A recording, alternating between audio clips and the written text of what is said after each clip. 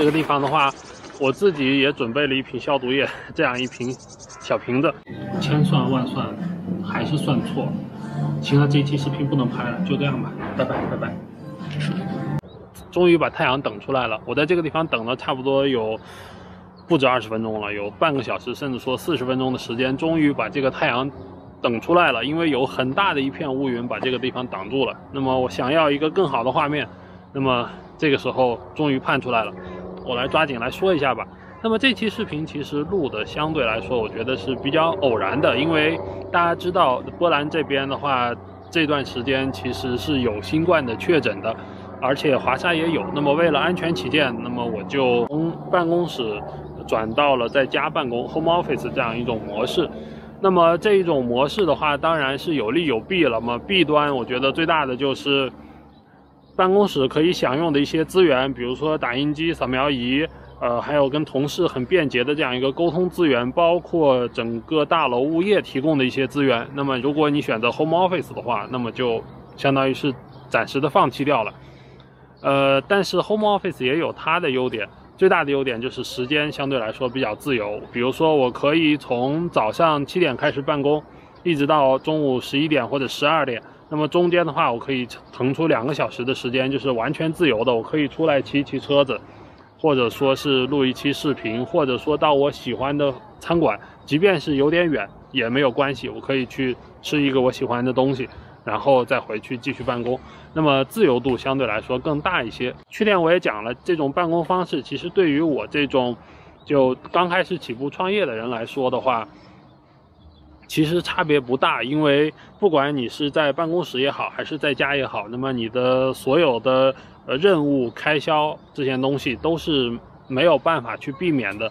比如说最简单的，每个月起来房贷、车贷，然后办公室的租金，还有就是员工的工资，这些的话不会因为你没有在办公室办公而去给你免除。所以说压力还是有的。呃，唯一差别，我觉得可能就只是形式上的不同了吧。但是话又说回来了，这个东西确实。需要你自己去进行一些调整，或者说是自己进行一些，呃，合理的分配吧。呃，太阳真是太舒服了，晒得我都有点忘了我想说什么东西了。那么三月份的华沙其实树上已经开始发芽了，而且很多新的这个绿草已经顶出来了。那么在这个地方的话，三月份，嗯，温度差不多在八度到十二度之间。我说的是中午的温度，那么穿衣服的话也是比较舒服的。比如说，你可以像我这样穿一个相对来说还有一点厚的这样一个外套吧，然后里边可以穿一个短袖，就完全是可以了。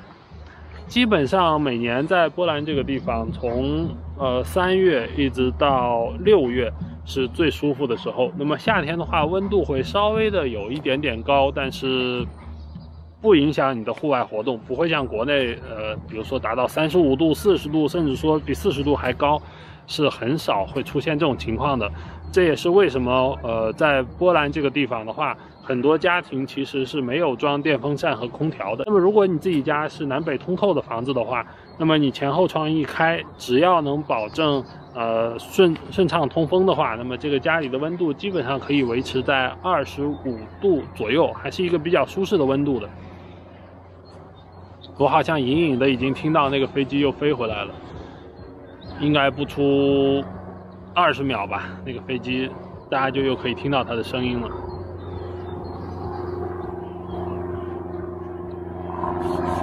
整个冬天从十一月到二月，那么它的这个天气的话，基本上是以阴天或者说阴雨天为主，所以说人是非常难受的。但是一旦进入春季之后，就基本上每天都是这种蓝天白云、阳光明媚的天气了。今天不知道是因为我是第一天 home office 比较有新鲜感的原因，还是因为今天天气比较好的原因，我反正觉得今天整个都是一种阳光明媚的感觉，给人感觉很舒服。这个真的是阳光太舒服了，然后。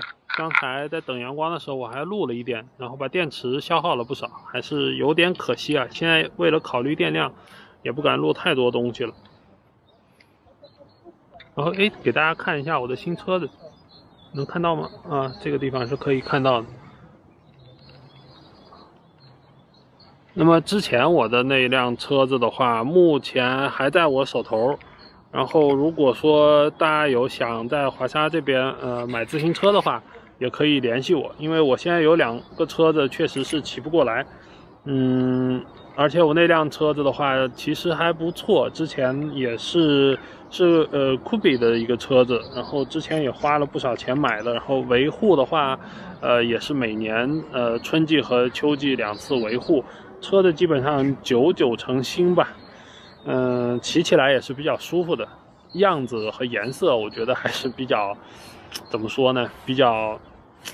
比较亮眼的一个颜色吧，但是还是挺漂亮的一个车子。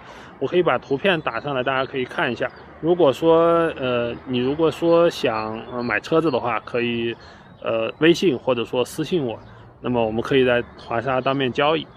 那当然有在这边比较喜欢骑车子的，或者说比较喜欢户外运动的朋友，也可以联系我，我们可以约出来一起嗯。春天或者夏天的时候一起玩一玩，我自己还是比较喜欢类似的运动。哎，这个天骑车的还是稍微有点冷，暖和暖和。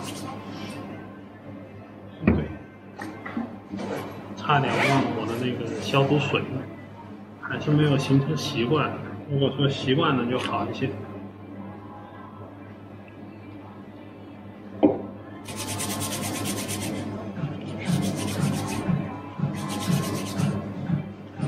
太酸爽了，这个因为是酒精含量居多嘛，所以说瞬间一下就全是那个酒精的味道在往脸上涌，然后手上感觉所有的热量瞬间都被蒸发掉了。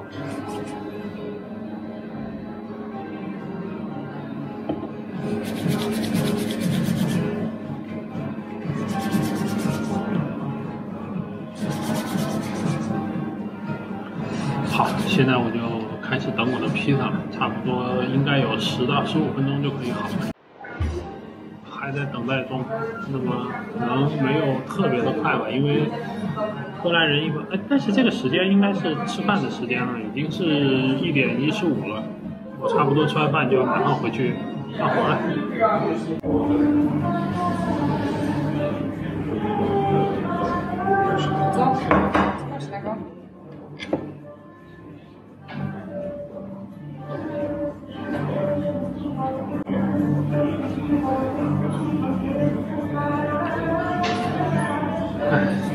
偷猫费斯其实也没有特别的爽，因为你随时要接听电话或者说发信息啊，你要确保你是在线，可以别人可以找到你的才行。然后可以给大家看一下这个披萨，还是非常的好的，看着就很香啊。好，我要开始吃了，全部吃完了，全部吃完了。确实味道还是不错的，哎，这家披萨还是很值得推荐的。我突然想到一个非常要命的事情，真的是刚才一直都没有想到，因为这家披萨店是一家意大利的披萨店呐，我的天呐！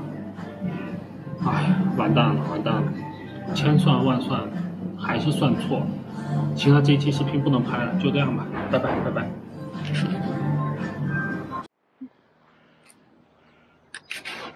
嗯，这样的话是不是好一些？但是现在有一片云完全挡住了我的，完全挡住。